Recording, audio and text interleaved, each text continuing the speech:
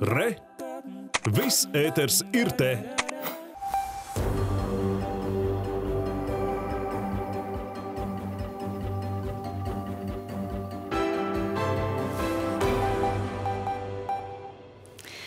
Labrīt! Šorīt debesis ir lielākotā, lielākoties skaidrs un mākoņi ir pavisam maz un rīts ir samērā silts.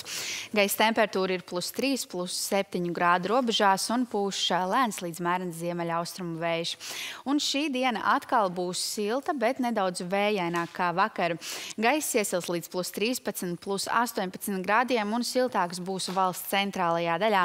Bet vē, vēsāks kolkas, mērstraga, rojas, kā arī jengurus apkārtnē, jo tā kā vējš pūtīs no ziemeļa austrumiem, tad uh, tas nesīs vēsāku gaisu no Rīgas līča ūdeņiem.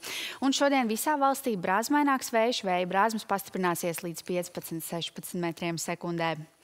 Arī Rīgā šodien ir samērā silts rīts gaisa temperatūrā plus 7 grādiem, bet dienā termometrs stabiņš pakāpsies pat līdz plus 17 grādu atzīmei. Un arī būs jūtams, ka ir nedaudz brāzmaināks vējš. Galvaspilsētā šodien saulains un sauss laiks.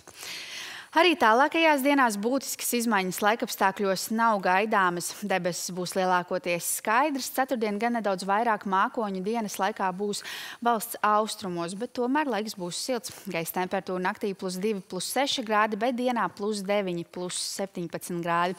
Un tā kā vējš atkal pūtīs no ziemeļa austrumiem, austrumiem, tad vēsāks būs kurzemē līča piekrastē. Un arī piekdien ļoti līdzīgi. Gaisa temperatūra naktī plus 1, plus 5 grādi, bet dienā plus 6 plus 15 grādi. Un šī brīža prognozes liecina, ka līdzīgi laikapstākļi saglabāsies arī brīvdienās. Laiks būs silts, tomēr varētu būt arī lietaināks.